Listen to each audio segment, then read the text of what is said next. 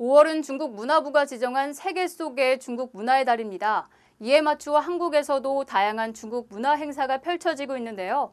자세한 현장 소식 영상을 통해 함께 알아보시죠. 지난 19일 오후 7시 서울 성동구에 위치한 한양대학교 백남음악관에서 중국의 대표적 전통 연극인 경극 공연이 펼쳐졌습니다. 주한 중국 문화원의 초청으로 대안한 호북성 경극원은 중국 최고 수준의 경극 예술단체 중 하나입니다.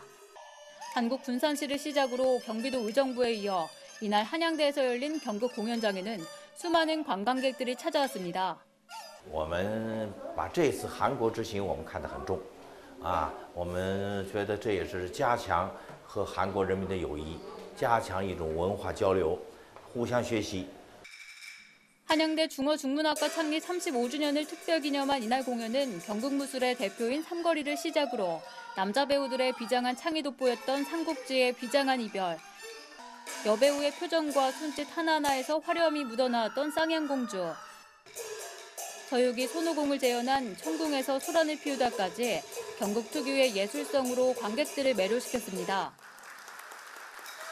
경극 처음 보는데 분장 같은 것도 되게 화려하고 의상도 너무 예뻐서 되게 감명받았습니다.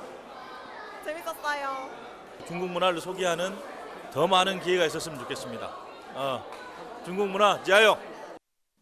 한편 20일 오후 7시 광진구에 위치한 건국대학교 세천연관 대공연장에서는 중한수교 24주년을 맞아 한국에 거주하는 제한 중국 동포 교민을 위해 후난성 귀국 화교연합회 예술단의 위문 공연이 열렸습니다.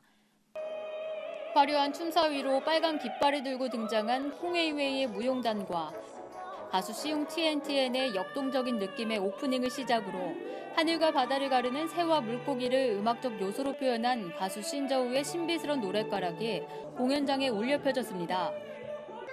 이어서 옥팔지를 줍는 상황을 유쾌하게 풀어낸 천수 위의 단막극을 필두로 아름다운 화음이 돋보였던 남녀 듀엣 차이나타워 벨리, 희극 무용, 서커스 등 풍부한 볼거리가 펼쳐졌습니다.